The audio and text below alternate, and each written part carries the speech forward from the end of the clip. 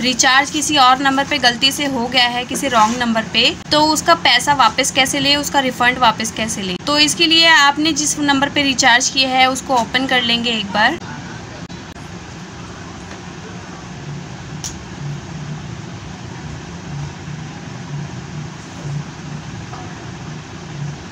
मैंने इस वाले नंबर पे गलती से रिचार्ज कर दिया है, अब फंड वापस चाहिए तो इसके बाद आपको बैक चले जाना है। होम पे चले जाएँगे आप। और यहाँ पे कोने पे जो आपकी फ़ोटो है, इस पर क्लिक करेंगे। तो आपका ये प्रोफ़ाइल पेज खुल जाएगा। तो अब आपको क्या करना है, हेल्प एंड फीडबैक पे क्लिक करेंगे। इसके बाद स्क्रॉल डाउन कर लेंगे और गेट हेल्प पे क्लिक करना है। और इसके बाद आपको कॉन्टैक्ट गूगल पे, इंडिया कस्टमर केयर पे कॉल करना है। और उसके बाद आपको इस वाले नंबर पे कॉल करना है। ये आपके गूगल पे का हेल्पलाइन नंबर है। तो आप इस पर क्लिक करेंगे तो ये डायरेक्ट आपके डायल पैड पर आ जाएगा।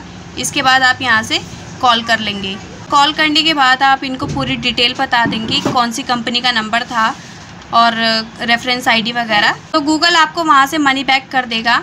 आपका पैसा जो है रिफ़ंड हो जाएगा आसान तरीके से। तो इस तरह आप कोई सी भी कंपनी का पैसा वापस ले सकते हैं अगर आपने गलती से रिचार्ज कर दिया है तो।